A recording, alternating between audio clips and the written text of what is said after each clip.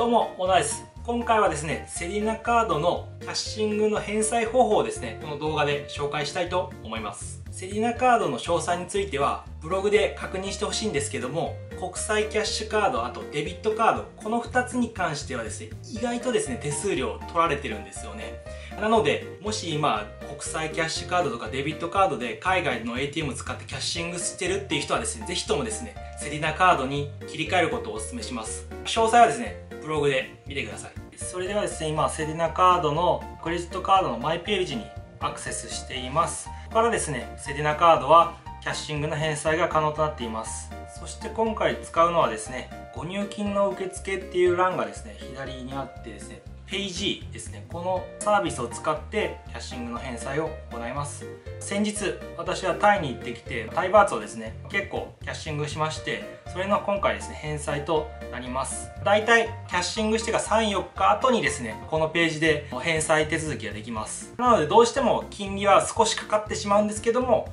それでも国際キャッシュカードに比べるとですね手数料がほぼかからないのでお得です。今回はですね残高6万2000これ全部あのタイで下ろした金額で金利はですねたった8円ですね。合計でその足し算したやつ金額をですねこれからですねネットバンクで返済したいと思います。ここで注意してほしいのが意外とですねこのページあのメンテナンスするのがですね結構頻繁にあってですね土曜日とかにアクセスするとですねこの時間は入金受付できませんみたいなことを言われることもあるんですけどもそれも含めてもですね電話で返済するよりはですね非常に楽で気軽にできるんで僕はですね非常にこのネット返済っていうのは気に入ってます。それではですね申し込みをしてみましょう。それでは金融機関なんですけども私はですね UFJ をメインに使っているので UFJ を選択します。それでは入金手続きをします。それで私は個人のお客様なので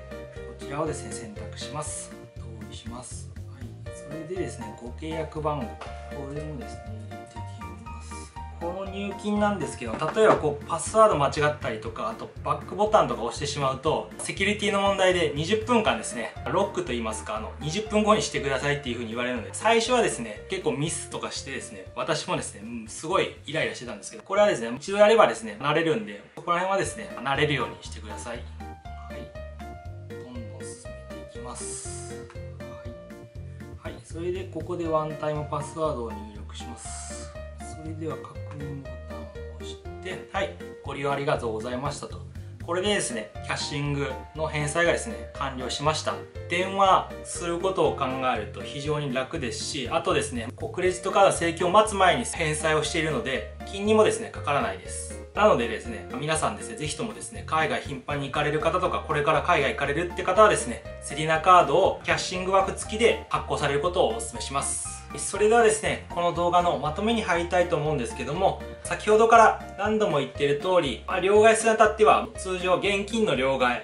あと国際キャッシュカードを使う様々なものがあるんですけども、その中でも一番ですね、クレジットカードで現地の ATM を使ってキャッシングするのが一番お得です。さらに、セリナカードを使えばですね、手数料はほとんどかからずに、あとネット返済もできるので、非常にですね、楽なクレジットカードとなっています。なので今までですねセリナカードを使ってないっていう人はですねぜひともですねこの機会にセリナカードをですね発行することをお勧めします。詳細はですねなんでセリナカードが手数料安いんだとかですねあと他にもですねクレジットカードのキャッシングってそもそもどういったものかっていうのはですねブログに書いておりましてブログの記事は概要欄に貼っていますのでぜひともですねそこをチェックしてみてください。それでは